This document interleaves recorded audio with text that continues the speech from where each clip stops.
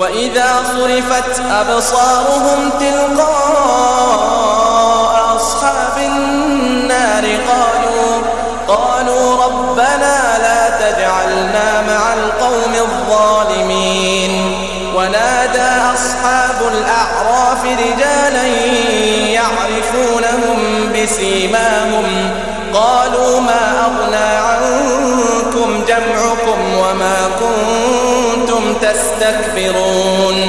أهؤلاء الذين أقسمتم لا ينالهم الله برحمة. ادخلوا الجنة لا خوف عليكم ولا أنتم تحزنون. ونادى أصحاب النار أصحاب الجنة أن